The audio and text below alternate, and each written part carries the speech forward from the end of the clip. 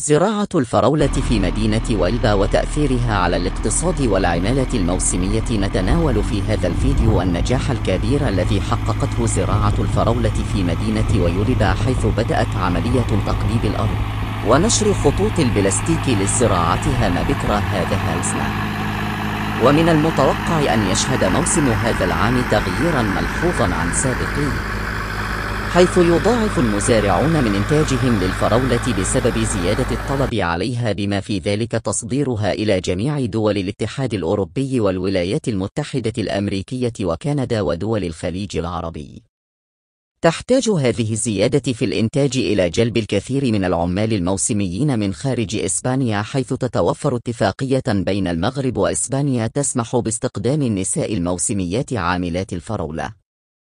يتم جلب العديد منهن سنويا ومن المتوقع أن يزداد عدد العاملات المغربيات هذا العام من 15 ألف إلى 18 ألف امرأة.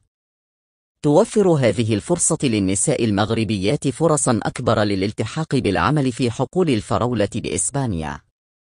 تتم عملية التسجيل من خلال مكتب الشغل المغربي المعروف باسم نابيك حيث يتم اختيار النساء اللواتي يتوفرن فيهن الشروط المحددة للعمل في هذا القطاع أن يكن متزوجات أو مطلقات. لديهن أطفال وأن يكون سنهن بين 18 و 46 سنة. وينحدرون من المجال القروي.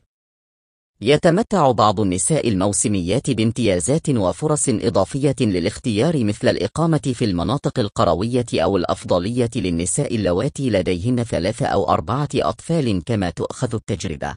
السابقة في العمل الفلاحي بعين الاعتبار. يمكن للنساء اللواتي سبق لهن العمل في جني الفراولة في مواسم سابقة أن يستفيدن أيضا من هذه الفرصة ولهن امتياز خاص. ينبغي أن نسلط الضوء على أهمية هذا القطاع الزراعي في تعزيز الاقتصاد المحلي وتوفير فرص عمل للمزارعين والعمال الموسميين على حد سواء. كما يمكن التطرق إلى تأثير هذا النمو المتزايد في إنتاج الفراولة على الاقتصاد الإسباني بشكل عام وعلى العلاقات التجارية مع الدول المستوردة.